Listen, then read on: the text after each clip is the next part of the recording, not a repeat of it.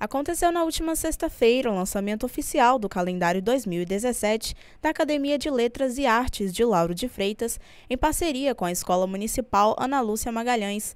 Entre os presentes na solenidade estiveram figuras políticas e homenageados. Salvaguardar a cultura é muito importante, ainda mais quando a gente tem bons mestres de cultura, né? Citamos aqui a pessoa Dona Badinha, a pessoa Dona Ede, Domingos Balaíro, Artêmio da Luz seu paizinho, entre outros mestres de cultura, que guarda por tempos e tempos essa cultura, tentando levar de geração em geração. É uma homenagem justa, uma homenagem que eles precisam e precisam desse reconhecimento. Sou nascida e criada aqui na Itinga, é, na Itinga e aqui em Lauro de Freitas, e eu vejo figuras que eu vi, né, que me viu crescer, que é seu Portela, por exemplo, que mora no Largo do Caranguejo, e que a infância toda ele ensinando tanto a mim quanto meus irmãos a desenhar, né? Então isso para mim é muito gratificante. Quero parabenizar a Academia de Letras por essa iniciativa de estar fazendo esse trabalho aqui, esse chamamento, essa buscativa para poder sensibilizar o nosso povo de Lauro de Freitas a essa valorização. Inclusive, nós temos aqui Artêmio, Duzinho, fui produtora da Paixão de Cristo durante nove anos, onde a gente levava os jovens para a Praça de Lauro de Freitas e fazia um belíssimo trabalho.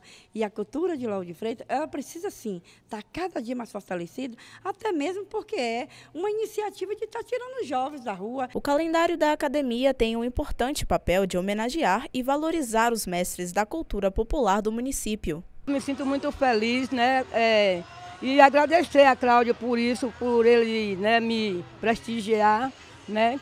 Então é muito bom, né? A, a cultura, né? Então, trazendo a cultura do município, né?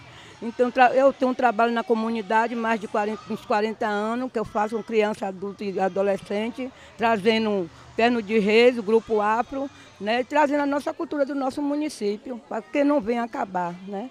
É de grande importância essa valorização dos mestres da cultura popular.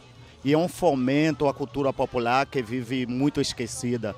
Então esse evento é muito grande para cada um de nós, né, uma fortaleza para a cultura popular, né, fomentando a, a, cada, cada vez mais nós, mestres dessa cultura, que vivemos nossa vida ligada à cultura popular de nossa cidade. Com uma tiragem de mil exemplares, o calendário será distribuído de forma gratuita em escolas da cidade, órgãos públicos e no comércio local.